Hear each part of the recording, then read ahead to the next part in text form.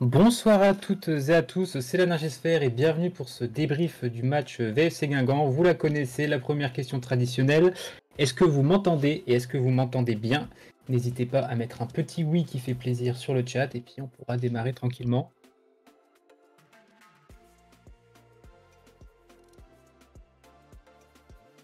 Impeccable. Merci Romain euh, pour euh, cette précision. Donc bonjour à toutes et à tous, bonjour le chat. Et bonjour également à nos intervenants, encore une fois, de, qualité euh, ce soir. Nous l'accueillons euh, aujourd'hui. Euh, il n'a pas pu participer pour cause d'une urgence la dernière fois, alors que Discord indiquait qu'il jouait à Call of Duty. Accueillons Larry Bambel. non, c'était pas moi, mais oui, bonsoir. Ces deux derniers matchs au Eno se sont soldés par deux défaites 4-1. Nous accueillons Val. Bonsoir.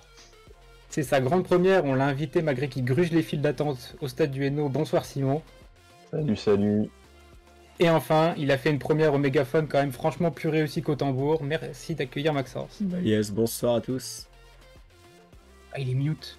Ah oui, il fait que la technique. non, j'ai oublié, c'est bon, je suis là. Bonsoir à ah, tous. Ah, c'est bon. Non, tu participes, Maxence, quand même. Je vais participer, mais sans avoir vu le match. Ah, bon. Ça ne changera pas de la moitié des chroniqueurs ici. Bonsoir également et surtout au, chat qui nous écoute. Encore une fois, n'hésitez pas à poster vos réactions, vos questions. Nous les lisons avec attention. C'est une émission interactive le plus possible. C'est votre émission avant tout.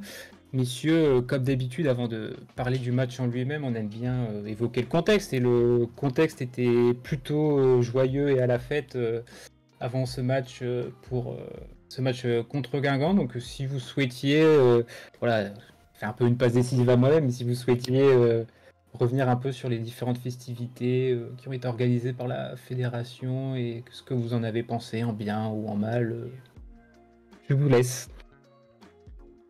Je laisse les collègues participer. Hein. bah, perso, moi j'ai juste vu l'arrivée au stade parce que j'étais pas dans le cortège, donc je sais pas comment ça s'est passé avant. Mais en tout cas, vu l'arrivée du stade, etc., ça mettait vraiment l'ambiance de fou. Et parce qu'avant c'était un peu la mort. Mais là, ça faisait plaisir de voir euh, la fanfare arriver, tout le monde chantait, et puis euh, tout le monde était content de voir défiler euh, Fredo. Donc ça faisait plaisir, une petite ambiance avant le match. Valentin, tu disais que ça rendait bien à la télé apparemment également aussi. Ah bah la télé ça avait l'air c'était génial hein. franchement non en vrai vu les vidéos ça avait l'air vraiment très cool ça fait plaisir effectivement de revoir enfin j'ai pas la chance d'aller au stade très souvent mais ça fait plaisir de revoir un peu de vie en avant-match euh, qui, revient petit à petit. Et euh, vu de la télé, en tout cas, la, fanfare surtout en tribune et l'ambiance surtout en première mi-temps était, était vraiment très sympa et ça apportait vraiment quelque chose de plus. Donc c'était très bien et, à renouveler, je pense. Et toi, Larry, t'étais dans le cortège, t'en as pensé quoi T'as tout vu, toi? C'était très, ouais, c'était très sympa, très immersif, très festif. Et ça sera, en espérant que ce soit réédité euh, plus souvent notamment quand il y aura des, grands matchs. T'as peut-être des exclus ou des projets euh, là-dessus Waouh, des exclus non, mais moi j'ai adoré ce que j'ai vu. Beaucoup de monde, beaucoup de monde, un, cortège euh, qui a bien marché euh, avec des chants, la fanfare qui a lancé aussi pas mal de choses que les supporters ont pu suivre après que ce soit dans le cortège ou dans le match. Certains ont aimé, certains n'ont pas aimé. Moi j'ai trouvé ça plutôt agréable, ça nous, ça nous changeait un petit peu. si c'est une fois par an, c'est vraiment bien, ça permet de, changer et, de pouvoir tenter de nouvelles choses. Donc euh, moi forcément j'ai beaucoup aimé et puis j'espère aussi qu'on pourra continuer ça lors de certains événements. Ben là pour le coup les folies de Bambin tous les ans, euh, essayer de remettre ça en place et, et euh, pourquoi pas d'autres événements entre temps. Là on réfléchit pour la Sainte-Barbe et pour, pour Saint-Éloi qui arrive. Impeccable, ça, ça des projets euh, dont on pourra parler euh, par la suite. Bonsoir à, Chris dans le chat et merci Jaja pour tes messages de remerciement, ça fait plaisir. Puis c'est vrai que on a eu des super retours autour de cet événement, donc euh, bravo à tous ceux qui ont œuvré pour le mettre en œuvre et puis on espère que c'est un événement qui en appellera d'autres. Bon messieurs, direct, une question, quiz, elle sera pour le chat. Et le chat souvent c'est l'échauffement, on commence gentiment, donc préparez-vous. Euh, c'est la question encore plus simple que la semaine dernière. Est-ce que vous pouvez, messieurs du chat, me donner le nom du géant de Valenciennes? Enfin, du VFC, pardon. Le géant qu'on a vu euh, hier. Allez, le chat. je l'ai donné, là, c'est donné. Et bonsoir à, à Choupi. C'est Manu. Manu en première. C'est Manu. Punaise, Manu, il avait déjà pris des points. hein. Ouais, Manu, euh, tu veux que j'affiche le classement viewer euh, avant aujourd'hui du coup? Ouais. Parce que quand même, on, on a travaillé. hein. C'est quand même une émission où il y a beaucoup de travail. Manu qui prend son deuxième point et qui égalise donc Falken euh, dans, dans ce classement des viewers.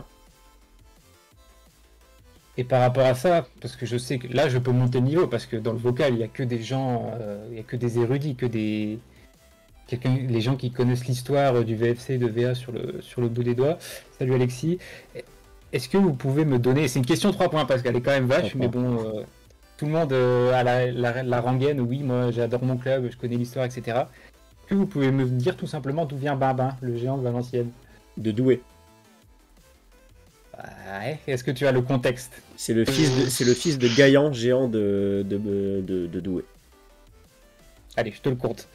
Et en plus, je vais donner du contexte. Sachez que c'est d'origine, enfin l'origine, c'est un concours de musique organisé en 1807 où les musiciens de la garde nationale de Valenciennes auraient été apparemment lésés lors de la remise des prix que tenait à Douai et du coup ils l'ont très mal pris.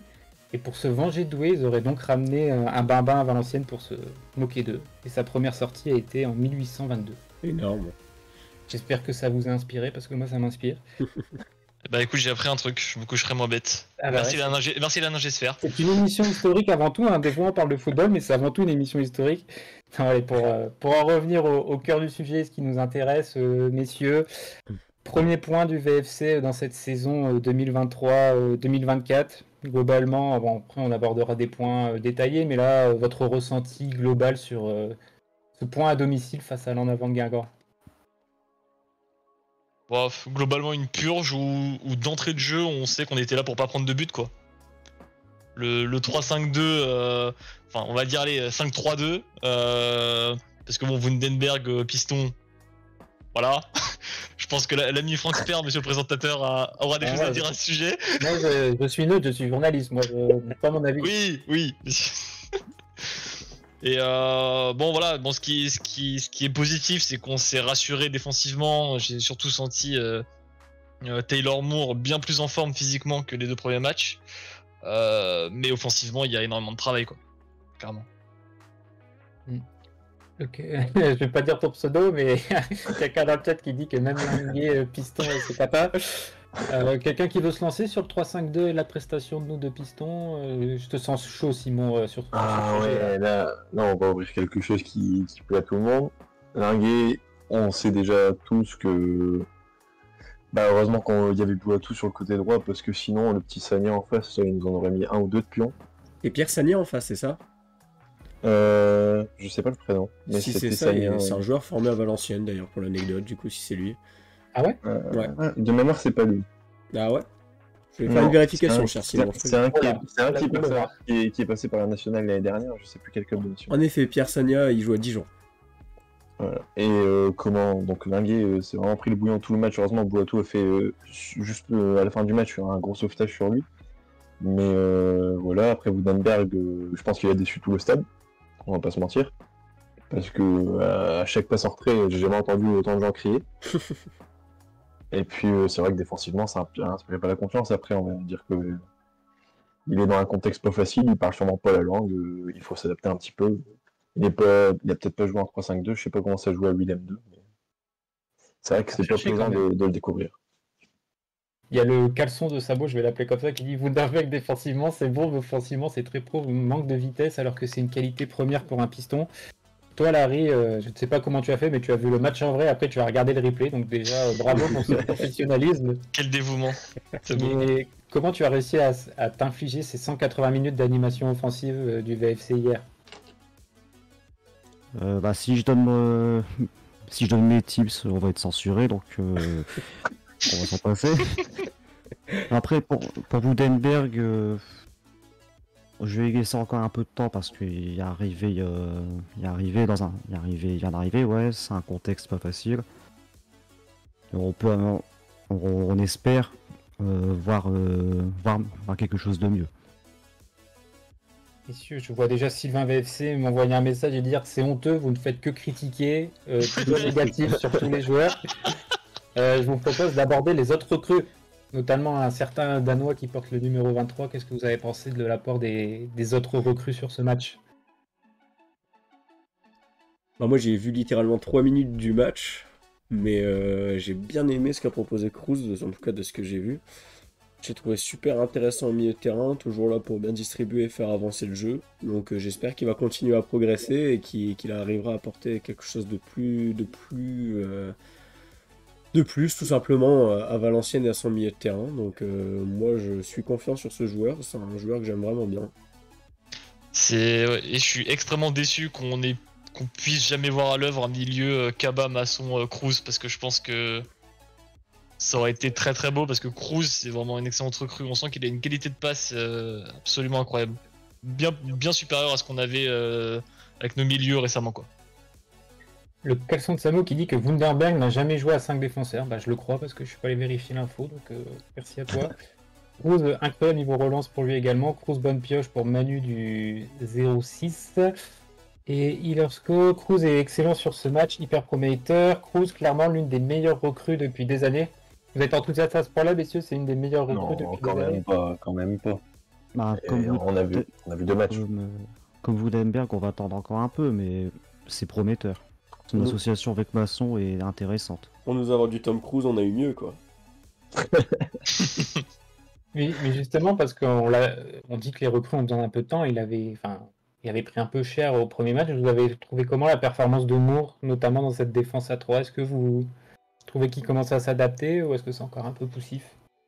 Rassurant, il il était rassurant. Bon, il avait de l'envie dans les duels et puis euh, il n'hésitait pas à monter un petit peu avec la balle au pied. Donc ça, ça fait plaisir d'avoir un des trois qui n'hésitait pas à se projeter un peu parce que sinon c'est vrai que la, purge aurait été totale si les trois restaient sur la même ligne derrière. Après, euh, on voit encore qu'il se fait prendre dans le dos. Je l'ai senti un peu plus confiant en fait dans une défense à 3. On sentait que comme il avait une sécurité un peu derrière lui, on sentait peut-être qu'il osait euh, monter un peu plus, peut-être monter un peu plus rapidement sur le porteur. Enfin, je trouve que peut-être dans une défense à 3, il est plus à l'aise, sûrement. Aussi. Et Arsko, il dit qu'il est discret mais efficace. Euh, Moore sobre pour Manu et le caleçon de Samo qui dit je vais faire un délit de faciès mais je le trouve pas rassurant. En parlant de délit de faciès et de quelqu'un qu'on trouve pas rassurant, qu'avez-vous pensé, euh, qu'avez-vous pensé de la prestation de notre portier hier? Et notamment, euh, je sais qu'il y a un, un gros débat sur ces magnifiques relances courtes. Je vous écoute attentivement. Bah, Ah. tout est dit dans le début du débat, hein, c'est pas rassurant, c'est tout. hein. Après, euh, il fait la parade quand il faut, il sort le- la frappe euh, du 10 qui, qui partait en 15, je pense. Mais on sent qu'au pied, faut pas, faut pas lui donner des ballons. Quoi. Ouais, donc il a fait son boulot quoi. Ouais, voilà. Il a été euh, plus rassurant que sur euh, ses deux premières prestations. Il a fait deux. J'ai compté deux arrêts, euh, bah, un en première période et un en début de seconde période. C'est un match correct, mais il faut, fa- faut faire attention à ses sorties aussi. J'ai trouvé qu'il était pas rassurant dans ses sorties aériennes. Ouais, c'est vrai. C'est un, gardien- c'est un gardien qui doit encore prendre en confiance, je pense Ouais. aussi. Et là, on le voit quand même personnellement euh, sur le peu que j'ai vu, euh, plus je l'ai trouvé plus rassurant que sur ses deux premiers matchs. Maintenant, il faut qu'il continue à, à monter euh, justement en puissance et aussi en confiance. Et je pense qu'il atteindra vraiment un bon niveau. Pas au point d'être un très bon gardien, encore une fois, il a ses limites, ça se voit. Mais ça peut être un gardien qui peut nous dépanner. Mais vous pensez que ces relances courtes, c'est à cause de son jeu au pied ou c'est une consigne du coach et si c'était Diabaté dans les buts, on ferait pareil? Ah, c'est une consigne du coach. Consigne. C'est c'est consigne du coach dû à son mauvais jeu au pied. Mais du coup, est-ce que tu penses que si c'était Diabaté dans les buts, euh, on dégagerait des parpaings dans le rond central? Non, Je pense qu'on essaierait un peu plus. Je pense que ça changerait rien. C'est une, volonté de vouloir relancer court et de construire depuis la défense, je pense. Le caleçon de Samo qui dit Je le trouve limite, c'est un peu au taf. Loucha fait son match de arrêts, mais pas bon au jeu au pied. Il a un jeu au pied, c'est digne de Dos Santos. Manu qui dit Moi, pour assurer le coup, je préfère un gardien d'expérience, Rafael Ilersko. Euh, efficace sur ce match, mais il faut pas se dire que tous les matchs vont être comme celui-là avec lui, parce que Loucher, c'est Loucher. Euh, notamment euh, par rapport à un match qui ne serait pas comme les autres, est-ce que vous pensez que ce 3-5-2, c'était une volonté du coach de dire bon, on en a pris 7, on va se faire une petite mi-temps tranquille à 5 derrière pour se rassurer, ou c'est quelque chose qui va se reproduire au fur et à mesure de la saison? Pour moi, c'était un dispositif qui, était, a été instauré pour euh, rassurer, se rassurer. Parce que tu prends 7 buts en 2 matchs, c'est ça pique. quoi. Il fallait se rassurer avant un calendrier qui va être en- encore plus difficile. Bon, on n'a pris qu'un point, mais bon, c'est D'ailleurs, il me semble, sauf erreur de ma part, qu'on a rebasculé à 4 derrière en deuxième mi-temps, non? Hmm, Erreur de ta part, je pense. Je pense pas. Hein. Parce que j'ai vu les latéraux monter vachement plus par rapport à la première mi-temps. Ou alors juste, il... Maciel Ouais. a utilisé la mi-temps pour leur expliquer euh, le principe du 3-5-2. Non, non, on était toujours à 5 derrière en deuxième mi-temps. Bon, en tout cas, on verra euh, lors du prochain match si c'est voué à se répéter euh, ou pas. Et donc, euh, l'éléphant au milieu de la pièce, euh, la cerise sur le gâteau de ce 3-5-2, messieurs, je vous laisse commenter euh, l'animation offensive du VFC hier, notamment de sa recrue Veneba, mais aussi du pivot Hugo Bonnet. Faites-vous plaisir, c'est maintenant, c'est le football qu'on aime. Bah, Bo- Bonnet, pour le coup, j'ai trouvé les sifflets quand il est sorti vraiment injustes. Parce que Ouais, je trouve qu'il a fait, il a fait un. Pour le coup, il a fait un bon match. Enfin, il avait un rôle quand même sacrément ingrat. Il a été un peu isolé. Et pour le coup, je trouve qu'il s'est bien, il s'est, il s'est bien battu avec ses armes. Et pour le coup, je trouve que technique- techniquement, il a été plutôt propre par rapport à ce qu'il fait d'habitude. Donc les sifflets ont été vraiment durs. Euh, par rapport à Venema, bah en fait, il a pas eu de ballon quoi. Donc euh, à partir de ce moment-là, difficile de le juger quoi. Il a fait énormément d'appels. Oh, Intéressant, mais il a jamais eu un ballon. Après, c'est le temps aussi que, par exemple, les passeurs comme on a, comme Boutouta ou Cruz, euh, comprennent euh, ses, ses envies de jouer euh, en profondeur. Et puis, on a vu qu'avec Bonnet, il se marchait un peu dessus des fois. Par exemple, une fois Venema lui laisse passer le ballon, mais Bonnet a déjà fait l'appel avant, donc on le perd. Des trucs comme ça. Je pense que les deux sont pas encore assez au clair pour jouer ensemble. Tu es d'accord, hein, que ce soit Romain, Le Caleçon ou Manu, ils disent que Bonnet était remuant, il a été bon, il a fait le travail. Et Romain qui nous dit pour le système que c'est pour se rassurer qu'on repassera, on repassera pardon, un système euh, plus classique ensuite. Euh, maintenant qu'on a quand même trois matchs euh, d'expérience, si vous appeliez, appelleriez Ben Shirley, pour vous là c'est quoi le ou les deux postes où il faut absolument recruter parce que c'est ridicule c'est où sont les, grandes urgences du mercato pour les 10 jours qui restent? Ben, si tu veux rejouer à- en 4-3-3, moi je lui dirais Hi Mr. Charlie, we need a left winger and a right winger. c'est ce que je lui dirais. Après, Oh, catastrophique.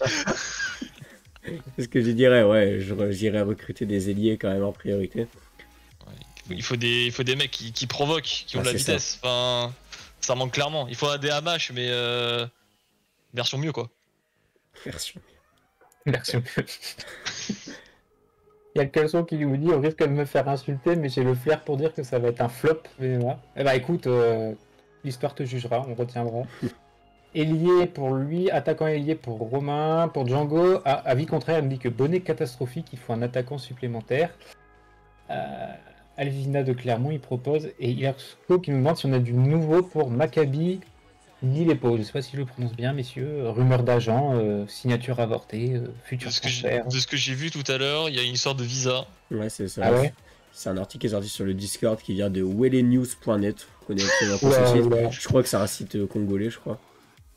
Ouais. qui dit qu'en gros, euh, voilà, euh, les deux se sont choisis, Valenciennes et, et le joueur. Et, euh, ils ont proposé un attaquant de 3 ans au joueur uniquement s'il arrive à résilier son contrat avec le club d'Al Bah, c'est ça que je comprends pas. C'est en gros, il parle de résiliation de contrat. Enfin, bah, je trouve que c'est un peu bizarre. Et en fait, euh, dans l'article, ils disent clairement que en fait, euh, le club a clairement pas l'intention de résilier le joueur. Du coup, ça serait au joueur de payer sa clause libératoire de 800 000 dollars. Bon. Intéressant. Donc, euh, ça paraît un peu compromis pour l'instant. Je vois pas le joueur payer une clause de 800 000 balles. Maintenant, on sait jamais. hein. Je sais pas combien il touché ou quoi que ce soit. Peut-être il avoir un très gros salaire. J'en sais rien du tout. Mais voilà. On parlait de Cruz tout à l'heure, j'en appelle au chat pour la deuxième question chat euh, du débrief. Encore une fois, on est plutôt gentil avec vous. Par rapport à ce Cruz qui nous a autant emballé euh, pour ce deuxième match euh, avec Valenciennes. Il commence donc par un K, son nom, comme vous l'aurez tous compris. Est-ce que vous pouvez me citer, pour trois points, trois joueurs avec un K ont joué à Valenciennes, dont le nom de famille commence par un K Ok. euh, J'en ai C'est un. pour le chat, hein. C'est pour le Ah. chat. Oh, j'ai pas entendu. Moi, j'en ai qu'un, moi. Voilà, on essaie le temps de, de réfléchir et, les- et de taper. Putain, la question elle est dure. Hein. Bon, ça va. Franchement, ça va. Ah, c'est bon, j'ai trouvé. Ok.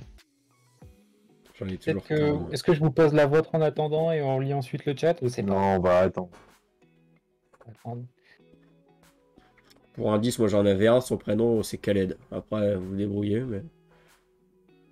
Ah, Il y en a plein. Hein. Ah ouais. Putain. ouais. J'ai été le chercher loin. hein, c'est- Ah, il, nous en faut. 3. Allez les gars, 3. Proposez-en 3 par, euh, par réponse. Moi j'en ai que deux. Alexis, je pense à celui-là. moi. Ah, c'est le Romain, c'est le premier à en avoir sorti 3. Ouais, Romain est le premier d'en avoir sorti. Ankava. Ah, Kava, ouais.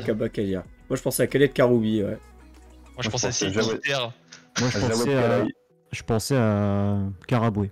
Karaboué, Kalai, c'est vrai, Oh. les gars. Franchement, bien vu, Il y en je avait. savais pas. Il y en avait tellement. Moi, ça me venait vraiment pas pour le coup. J'avais que Khaled Karoubi, je sais pas pourquoi. T'en as, as des autres que t'avais notés? Hmm, bah, il y avait Kosic, Konaté. Et euh, j'en Ah ai ouais, pas noté d'autres. Je me permets de rafficher le classement viewer. Bravo à Romain qui prend les 3 points. J'ai totalement oublié de noter qui avait gagné la première question. c'est chat, Manu bravo. qui avait gagné la Ah, première question de chat, qui a gagné un point. Tu me sauves. Du coup, Romain en prend 3 et passe premier du classement viewer. Incroyable. Et qui avait. Kagelmarer. Putain, elle est belle celle-là. Plaît-il? Non, je note tes 3 points, j'avais oublié. Enfin, t'es pour Baba. Ah, bah oui, quand même.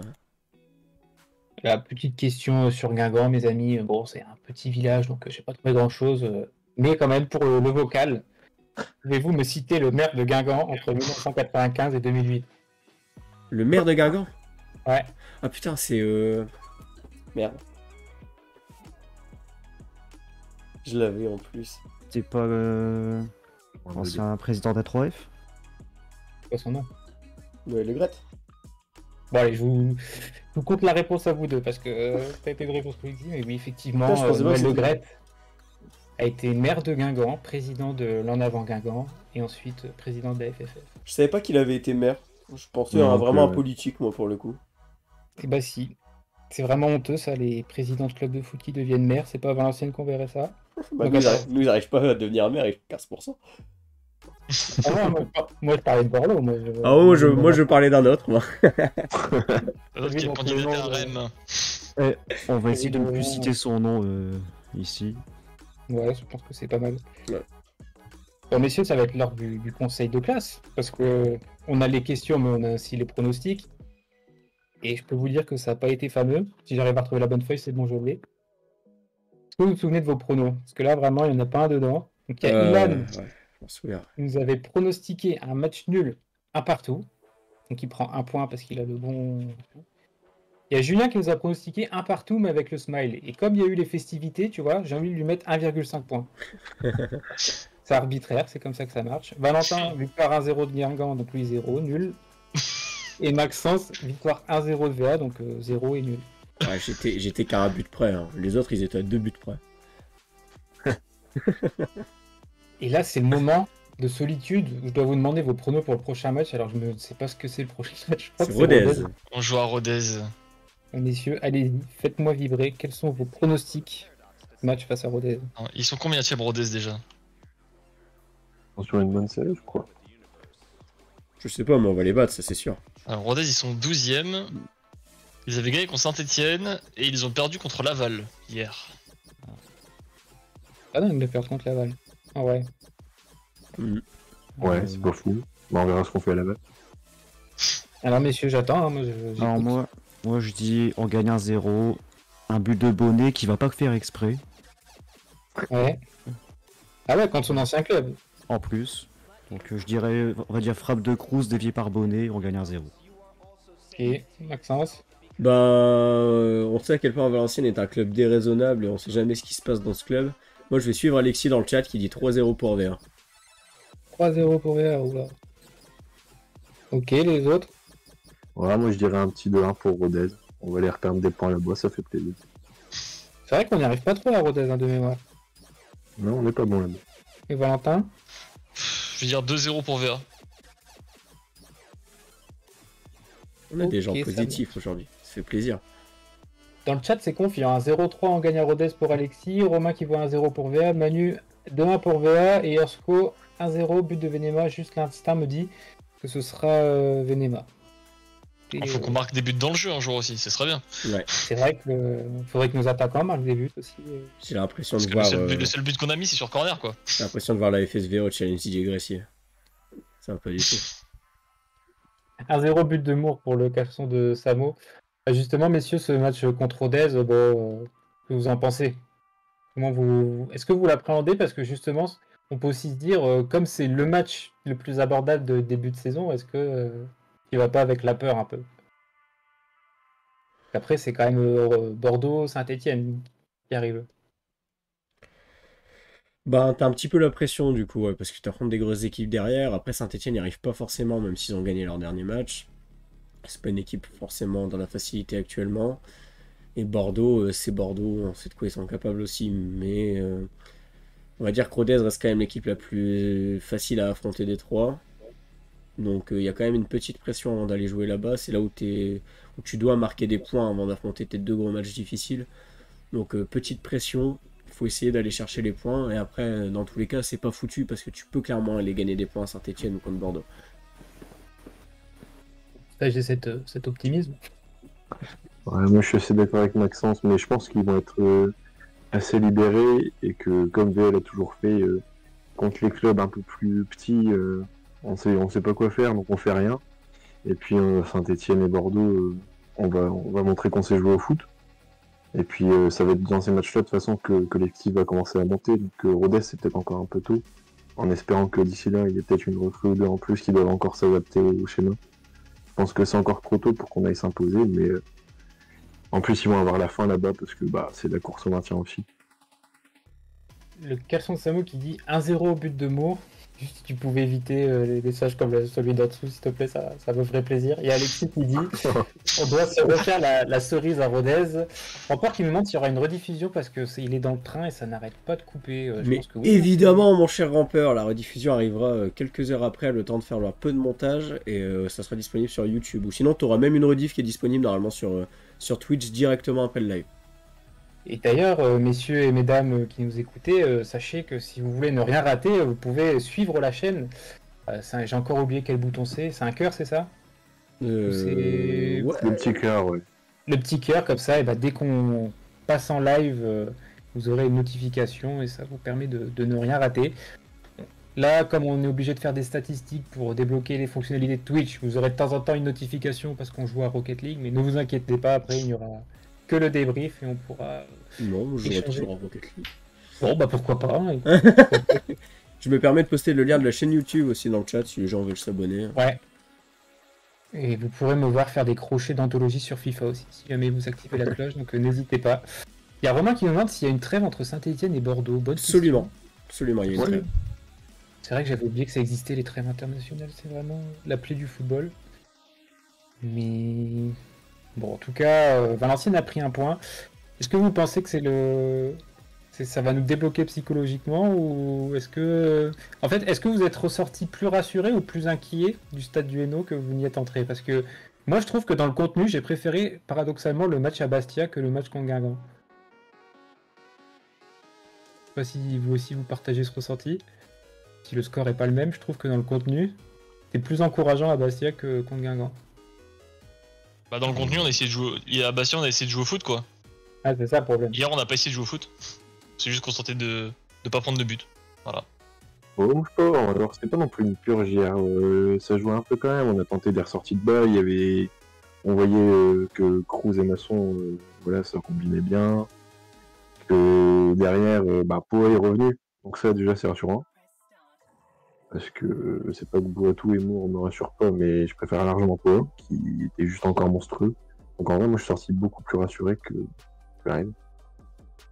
Harry est rassuré ou moins rassuré, toi qui as vu deux fois le match? On le rappelle, le héros. Euh, rassuré, c'est pas le mot que j'emploierais. Enfin. C'est. Pas rassuré, pas. Déprimé, quoi, globalement. Pas déprimé, ouais. C'est. globalement, tu m'as l'air assez déprimé, là, Larry. Bon, une victoire et, et ça ira. Il y a le caleçon de Samo qui dit pas encore rassuré, mais bon, Ilersko plus rassuré, ça va rebooster le moral des jeunes, je pense. Manu qui dit que quand on joue, on se fait punir, donc euh, on a peut-être raison de ne pas le faire. Pour Django, on a retrouvé de la solidité derrière, mais dans la construction, on a du mal, surtout que Guingamp, c'était pas très fort. Et pour Romain, ça montre qu'il faut des recrues devant, c'était mieux en seconde mi-temps, mais on a vraiment joué pour ne pas prendre de but. Bien, nous verrons bien contre un adversaire euh, qui, pour le coup, semble vraiment à la, portée de, Valenciennes, hein, peut-être un des premiers tournants euh, de la saison, euh, messieurs. En tout cas, je vous remercie, messieurs du chat, pour vos contributions. N'hésitez pas, là, vous êtes encore beaucoup en, réaction à ce qu'on dit, mais n'hésitez pas à poser vos propres questions, etc. Et avant de conclure, que j'allais oublier, messieurs, Ouais, votre ouais. homme du match. J'allais oublier l'homme du match pour vous euh, et pour aussi le chat également. Qui était euh, l'homme du match face à Guingamp? Larry, arbitrairement, t'es le premier dans la liste. Larry. C'est pourquoi Euh, bah, on va, je vais dire Cruz parce qu'il fait une bonne partie. Puis associé à Masson, il y a. Le milieu, ma- le milieu Masson, Cruz est vraiment intéressant. Ok. Maxence Je veux dire le joueur que j'ai le plus vu avec euh, Jean Loucher. Simon Euh, moi, je vais dire Boitou pour sortir un peu parce qu'il a été solide et puis. euh, C'est vrai. Il a fait Il- une super intervention. Il a fait une super intervention à la fin. euh, Je sais pas Ouais, si vous vous vraiment, souvenez. c'était- euh, il a- C'est vrai qu'il a pense fait que un sans ça, c'était match. un zéro. Il a fait un vrai match tout pour le coup. et Valentin Euh, je vais dire maçon. Masson. Pour Valentin, là, tu es d'accord avec Romain, qui lui aussi euh, met Masson, Django qui met Poa et Cruz pour Manu, mais qui a tout de même un coup de cœur euh, pour Poa. C'est Euh, vrai je que pense- pour moi, il a été, il a été bon aussi. C'est vrai. Enfin, globalement, euh, Poa Boatou, une très bonne charnière avec Moore, je trouve. Hum, tu voulais dire quelque chose, euh, Maxence Non, j'ai rien à dire. Ah d'accord, j'ai cru que tu voulais parler. J'entendais pas. C'est parce que c'est la fin du débrief, je commence à fatiguer. En tout cas, messieurs, encore une fois, un grand merci euh, d'avoir participé à ce débrief, en espérant qu'on aura des matchs euh, un peu plus joyeux dans le contenu et dans le score à, débriefer très bientôt. Merci euh, aux personnes euh, du chat pour leur présence, leurs commentaires. N'hésitez pas à poser des questions, etc. à la prochaine fois. N'hésitez pas, si jamais l'envie vous en prenez, à partager ce débrief auprès de supporters valenciennois euh, que vous, vous jugez amène d'être intéressés par ce contenu.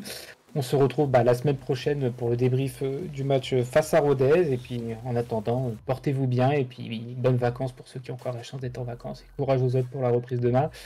Bonne soirée à tous. À très vite. Salut Au revoir.